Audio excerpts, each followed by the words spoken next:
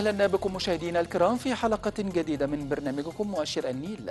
نتعرف خلالها على أداء البورصة المصرية وأسواق المال العالمية وحركة الاقتصاد العالمي حيث تبين أداء مؤشرات البورصة المصرية لدى إغلاق تعاملات اليوم الاثنين.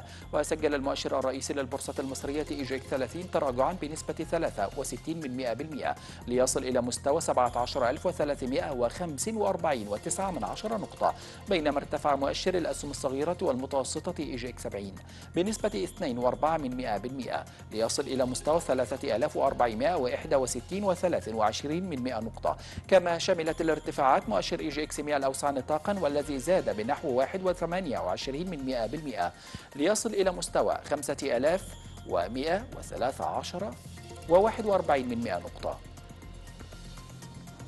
على صعيد القطاعات الأكثر تداولا في البورصة المصرية خلال تعاملات اليوم فقد جاء قطاع الخدمات المالية غير المصرفية على رأس القطاعات الأكثر نشاطا بنسبة 21.4% وحل قطاع الاتصالات والإعلام ثانيا من حيث التداولات بنسبة 16.3% كما احتل قطاع البنوك في المركز الثالث من حيث التداولات بنسبة 14.3%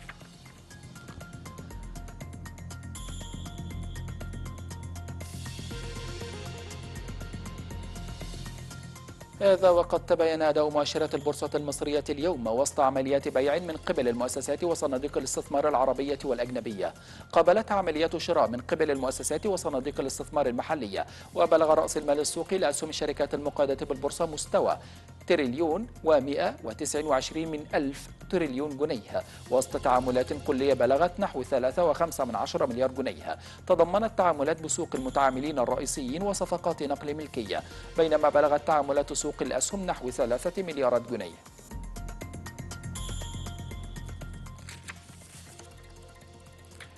وفي منطقة الخليج العربي أغلقت معظم أسواق الأسهم مرتفعة اليوم الاثنين وسط تفاؤل بأن مجلس الاحتياطي الاتحادي أي البنك المركزي الأمريكي سيوقف رفع أسعار الفائدة هذا الشهر كما أدى ارتفاع أسعار النفط إلى تحسن معنويات المستثمرين. وارتفع المؤشر السعودي 6 من 10% مع صعود سهم عملاق النفط أرامكو السعودية بنسبة 1.2 من 10% كما أغلق مؤشر دبي مرتفعا بنسبة 1.4 من 10% بعدما قفز سهم هيئة كهرباء ومياه دبي 6.4 من 10% وارتفع المؤشر القطري 4 من 10% مع صعود سهم مصرف قطر الإسلامية بنسبة 1.4 من 10% غير أن مؤشر أبو ظبي قد انخفض بنسبة 3 من 10% وفي بورصة وول ستريت الأمريكية استهلت مؤشرات الأسهم تداولات اليوم الاثنين على تباين بعدما حققت ارتفاعات قوية في الأسبوع الماضي مع تقييم المستثمرين فرص توقف مجلس الاحتياطي الاتحادي عن رفع أسعار الفائدة في اجتماعه المقبل للسياسات وارتفع مؤشر داو جونز الصناعي بنسبة 8 و37 من 100 نقطة أو 2 من 100 بالمئة ليصل إلى 33771 و13 من 100 نقطة. وصعد مؤشر ستاندرد أند بورز 500 بواقع 62 من 100 نقطة أو 1 من 10 بالمئة ليصل إلى 4282 و99 من 100 نقطة بينما انخفض مؤشر ناسداك المجمع بنسبة 22 من 100 نقطة أو 2 من 100 بالمئة ليصل إلى 13238 و48 من 100 نقطة. وفي أوروبا فتحت أسواق الأسهم على استقرار اليوم بعدما أخفقت الأسواق في الاستفادة من الزخم الناتج عن مكاسب الأسبوع الماضي في حين تصدرت أسهم لندن المكاسب في المنطقة مدعومة بأداء متفائل لشركات الطاقة على خلفية ارتفاع أسعار النفط واستقر المؤشر ستوك 600 الأوروبي عند 462 و46 من 100 نقطة بينما تصدر المؤشر فاينانشال تايمز 100 في لندن المكاسب وصعد بنسبة 5 من 10 بالمئة وصعد مؤشر قطاع النفط والغاز الأوروبي واحدا بالمئة مدعوما بارتفاع أسعار النفط. في آسيا أغلق المؤشر نيكي الياباني عند أعلى مستوياته في 33 عاما اليوم إذ أدت المكاسب في بورصة وول ستريت لزيادة الإقبال على المخاطرة في حين ظل المستثمرون يراهنون على الأسهم المحلية وسط توقعات بأن بنك اليابان المركزي سيحتفظ بسياسته شديدة التساهل. وقفز المؤشر نيكي 2.2% وارتفع المؤشر توبكس الأوسع نطاقا بنسبة 1.7%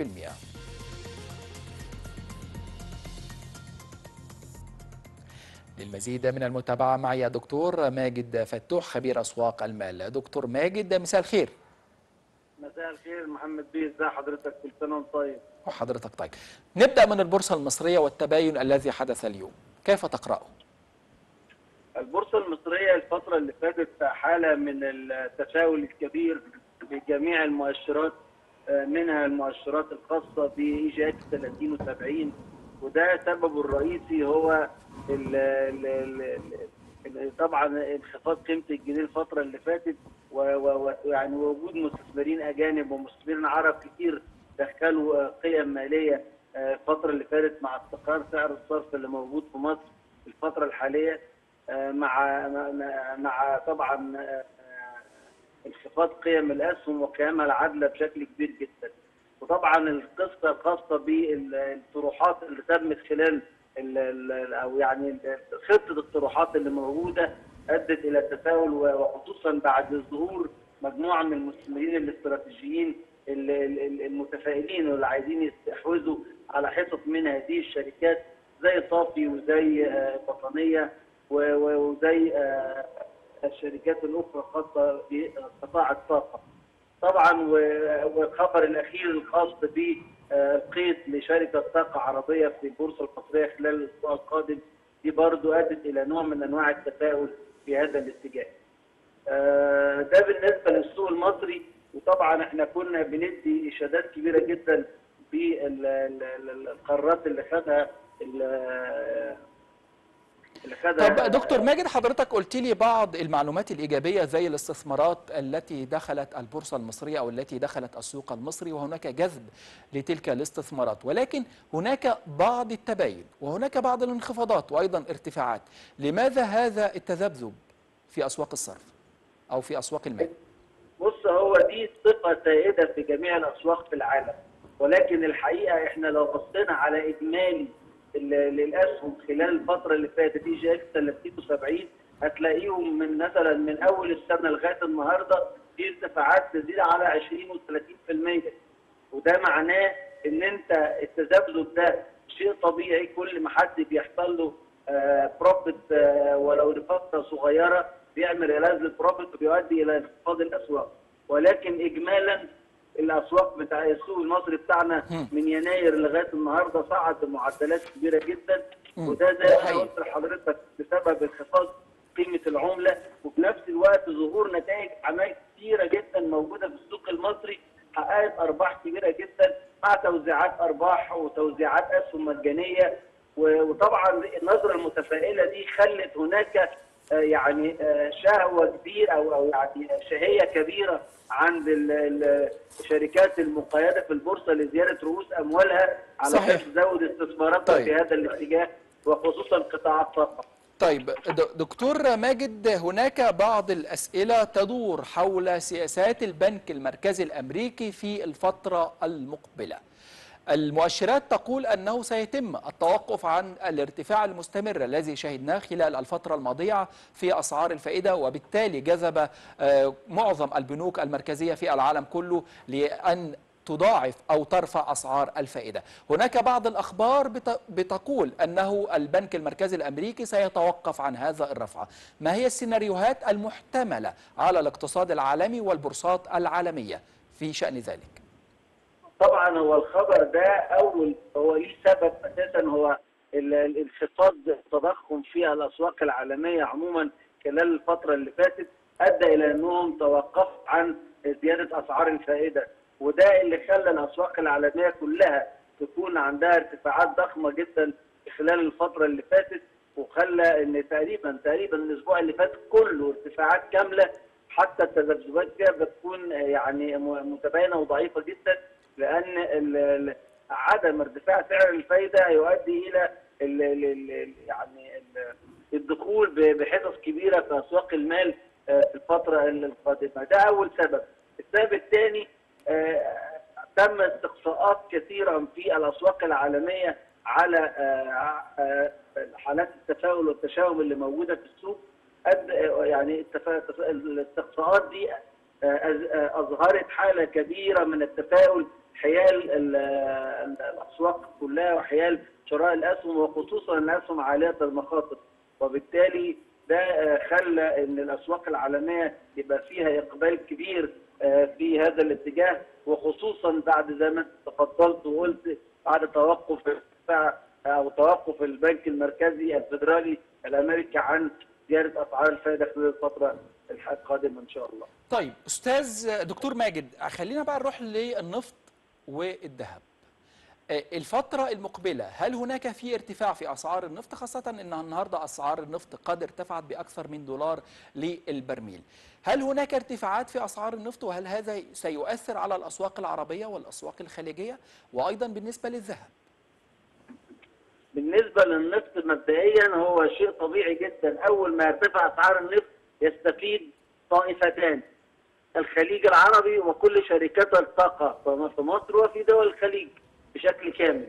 دي نمرة واحد. الحاجة الثانية إن أسعار النفط لما بترتفع آه، أو أسعار الأسواق العالمية لما بترتفع يتزامن معها ارتفاع أسعار النفط وانخفاض أسعار الذهب. وبالتالي فتوقعاتنا خلال الفترة اللي جاية من انخفاض أسعار الذهب وكل ال- ال- ال- اللي كان بيلجأ إلى الملاذ الامن ده مع مع مع يعني مع ال- التوجه لأسواق المال. أعتقد إن أسعار الذهب هتنخفض الفترة القادمة ببيع كتير في الأسواق العالمية.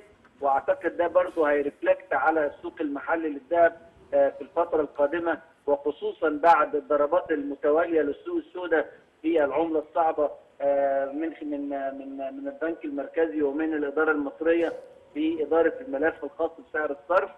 فبالنسبة لل- لل- للذهب أعتقد إن هو هينخفض عالميا وبالنسبة للنفط أعتقد إن هيكون في ارتفاعات كثيره في الاسهم اللي بتشتغل في مجال الطاقة في مصر وفي الخليج ومع طبعا تحسن كبير في الاقتصاديات الخليجية خلال الفترة القادمة.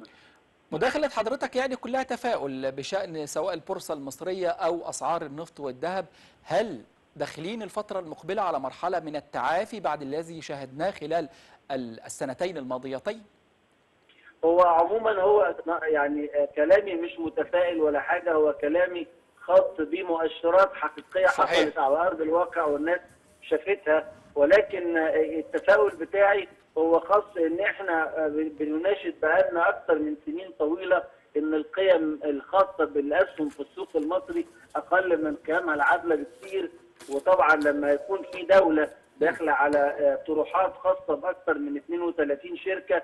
أكيد الشركات دي هتتباع بقيمها العادله وأكيد مش هتتباع بأقل من قيمها العادله بكثير وبالتالي فالصالح العام لل- لل- للدولة إن يكون السوق بالقرب من قيم عادله للأسهم بالقرب أو أو أو أو, أو, أو, أو يزيد علشان يحصل حاجة اسمها discount rate على قيم العدل للاسهم صحيح. اللي هتنزل في الطروحات القادمة عشان الناس تقدر تستفيد من فرق السعر وتكسب من صحيح. أي طروحات هتنزل خلال إن شاء الدكتور. ماجد فتوح خبير أسواق المال بشكرك شكرا جزيلا على هذه المداخلة القيمة أظهرت بيانات اليوم ارتفاع الصادرات الألمانية على غير المتوقع في إبريل مدعومة بعمليات التوريد إلى الصين في أعقاب إعادة الفتح ورفع قيود مكافحة الجائحة هناك وقال مكتب الإحصاء الاتحادي إن الصادرات الألمانية زادت بنسبة 1.2% عن الشهر السابق وأضاف المكتب أن الصادرات إلى الصين قد قفزت بنسبة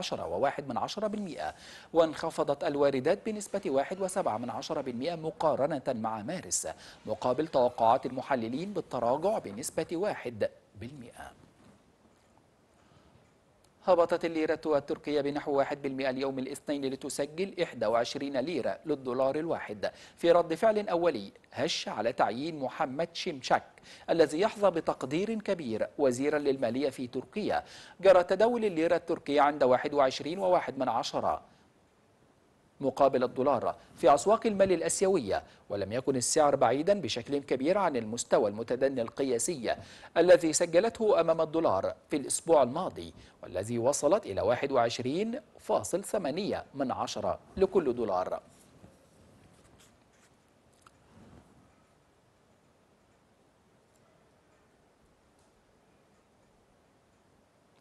نهاية حلقة اليوم من مؤشر النيل. غدا بإذن الله حلقة جديدة وأخبار اقتصادية أخرى دمتم في أمان الله. شكرا لكم.